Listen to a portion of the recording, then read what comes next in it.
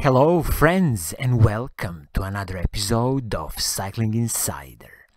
In this episode, I will give you the buyer's guide for the newest uh, Giant Propel bike, and specifically, it's going to be the Giant Propel Advanced Pro Zero Di2 road bike.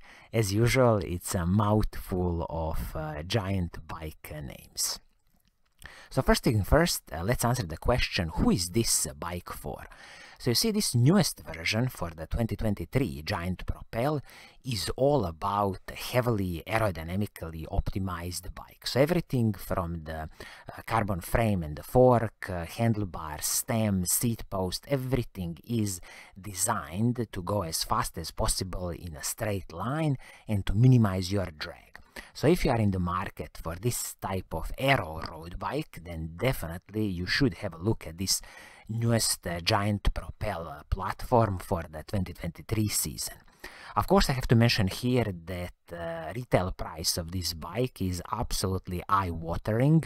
It is spicy, it is just wild. It is 8,000 US dollars retail price.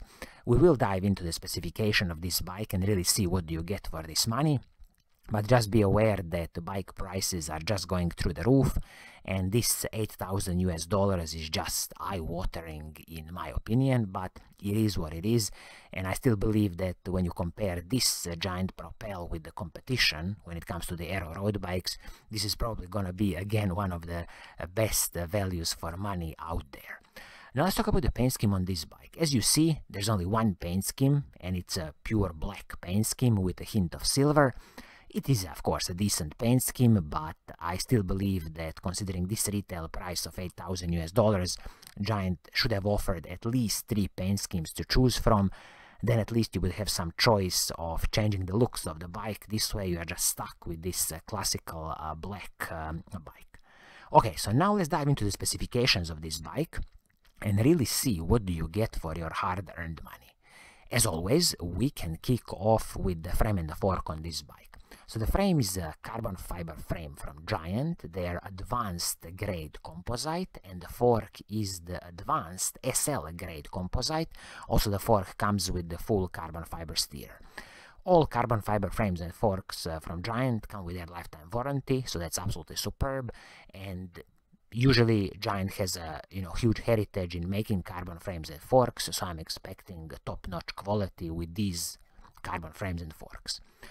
When you look at the handlebar and the stem on this uh, bike, so the handlebar is the Giant Contact SLR Aero handlebar. So this handlebar, of course, heavily aerodynamically optimized, but interesting thing here is that it is a carbon fiber handlebar from Giant, and it is paired with the stem, which is which is a Giant Contact SL Aero stem, but this stem is an aluminum piece. So the excellent thing here is that both the handlebar and the stem are separate pieces, Nothing is so proprietary here, easy to replace, easy to adjust your position on the bike. And also, as I said, handlebar is carbon fiber, which is absolutely great and excellent. And the stem is aluminum stem, again, perfectly fine in my opinion. You won't have any problems with this. When you look at the seat post on this bike, uh, Giant is of course using their Giant Vector carbon fiber seat post, top-notch stuff it will soak up a lot of smaller road bumps and this is what you want from a carbon fiber seat post. Also when you look at the saddle, Giant is of course using their own saddles which is a Giant Fleet SL saddle. In my opinion Giant recently makes some excellent bike saddles so I hope this one is going to be good for you. If not, saddles are a personal preference so always easy to replace and upgrade. Now let's talk about the group set on this uh, bike because it is definitely one of the highlights on the bike. So shifters, front mech and the rear mech, everything is Shimano's electronic Di2 group set. In this case, it's a Shimano's Ultegra Di2 group set, the latest version, and this is a 12-speed group set, semi-wireless group set, where shifters and the front mech are wirelessly communicating, and then you have a cable connection from the front mech to the rear mech, because in the rear mech you have kind of the brains of the whole system. Absolutely superb electronic group set from Shimano, very reliable, very good, everything that I've seen and heard from people who are using it is top notch. So absolutely, I'm not expecting any problems with this uh, Shimano's Ultegra Di2 12 speed group set. When you look at the braking system on the bike, uh, you will get the Shimano Ultegra hydraulic disc brakes. Uh, these are with the Shimano's RT MT800 rotors. Uh, Shimano rotors from the mountain bike world, excellent rotors, 160 millimeters at the front, and in my opinion, a bit disappointing 140 millimeters with on the back. I have no clue why Giant is doing this. Uh, in my opinion, it should have been 160 millimeters front and the back, because ultimately you want good heat dissipation and good stopping power, so saving a few grams on this 140 millimeter rotors at the back totally doesn't make sense for me. This will be the first upgrade I would do if I get this bike, destroy this 140 millimeter rotor, and then just buy yourself 160 millimeter rotor, Shimano's MT800 of course, because of their ice freeze ice tech technology and it's gonna work perfectly fine. Now let's look at the cassette, uh, crankset and the chain. So the cassette is the Shimano Ultegra 12-speed cassette, 1130 cassette, so definitely no cutting corners here. The chain, again Shimano Ultegra level chain, which is the M8100 chain, top-notch chain, and also the crankset Shimano Ultegra 3652. So immediately you see, uh, when you look at the crankset 3652, which is paired with 1130 cassette, that definitely the whole point of this bike is as to go as fast as possible in a straight line. If you are climbing some steeper mountains, then you'll have to, you know, add 1132 cassette at the back just to get it a bit more easier. I am glad that cassette, chain, crankset, everything is Shimano Ultegra group set, so there was no cutting corners here. Also, advice for the future, uh, when you need to replace the chain in the future, definitely keep up with the Shimano's 12 speed chains. So is it you know Shimano Ultegra, Shimano Dura-Ace, Dura-Ace or something from the Shimano's mountain bike world? It's gonna work perfectly fine. Uh, Bottom bracket on this uh, carbon frame is a press fit, classical Shimano press fit bottom bracket. Again, I wouldn't expect any problems here because uh, Giant knows how to make quality carbon fiber frames. Now let's talk about the wheel set on this bike because again, one of the secret sauces of this bike is the wheel set.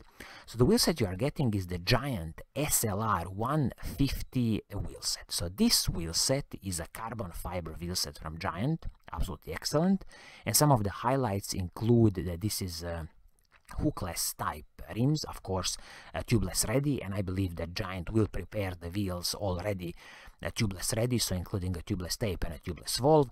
50 millimeters rim height. Internally, it is 19.4 millimeters, and it comes with this wheel set with the giant on hubs, uh, front and the back, 12 millimeter through axles.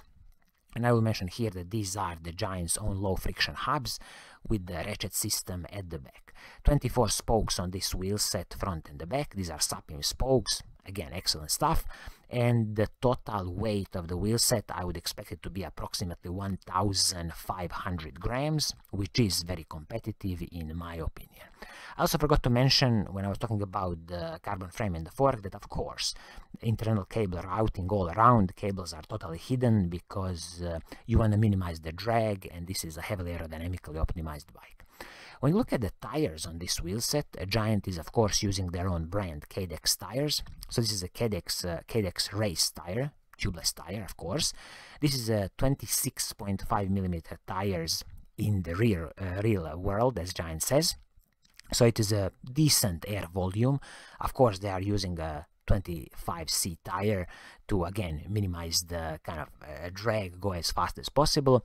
But the good thing is this uh, carbon frame in the fork can accept all the way up to 30 millimeter tires. So if you require a bit more smoother ride and more air volume, then definitely I would suggest you in the future to upgrade to 28 millimeter tires. As I said, more air volume, much more smoother ride.